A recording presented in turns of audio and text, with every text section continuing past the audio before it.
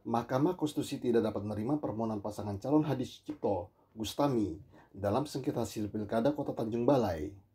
Demikian putusan mahkamah dalam sidang pengucapan putusan yang dipimpin Ketua MK Anwar Usman. Wakil Ketua MK Aswanto yang membacakan pertimbangan mahkamah mengatakan, sebelum mempertimbangkan lebih lanjut mengenai kedudukan hukum pemohon dan pokok permohonan, mahkamah terlebih dahulu mempertimbangkan eksepsi termohon dan eksepsi pihak terkait yang menyatakan bahwa pengajuan permohonan pemohon telah melewati tenggang waktu.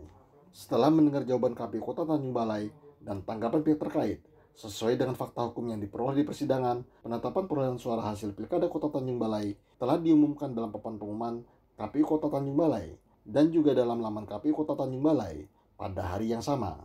Sehingga tidak ada perbedaan waktu antara penetapan dengan pengumuman perolehan suara hasil pemilihan wali kota dan wakil wali kota tahun 2020. Dengan pertimbangan hukum tersebut, menurut mahkamah, permohonan pemohon yang diajukan secara online itu telah melewati tenggang waktu.